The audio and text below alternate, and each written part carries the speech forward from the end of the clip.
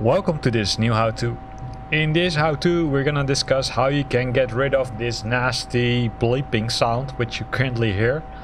Um, it's in the A32NX uh, and I'm gonna show you what to do about it. So as you can see the autopilot is switched on but it has been set to an altimeter of uh, 18,000 feet and you could see that once I change these buttons it's resetting.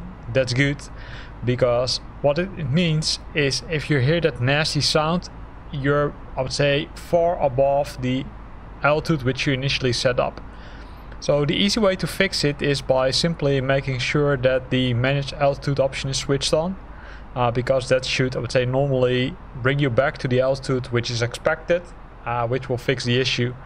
If you again hear the nasty sound then validate the altitude and if the I would say altitude is far above the value then Sometimes resetting the autopilot and reactivating the altimeter does resolve the issue. Of course you can also fix it manually by first decreasing the altitude and then it should go.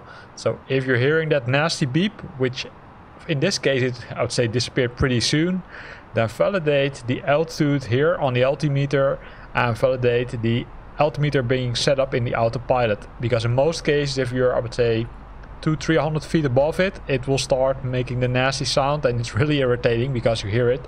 And those sounds in most cases mean, hey, there's something wrong, you need to fix something.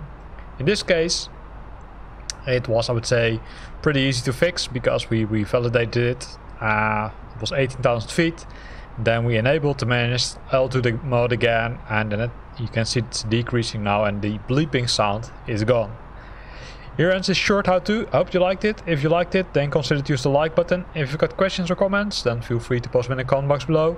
And of course, don't forget to subscribe to my channel. Thanks for watching and see you next time.